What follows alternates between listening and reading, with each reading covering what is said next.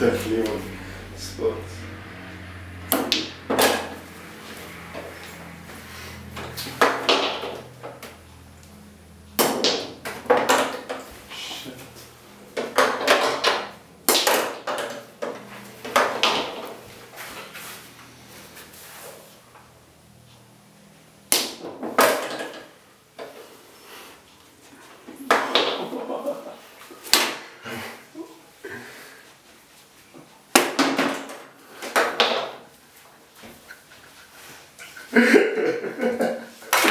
That might be what.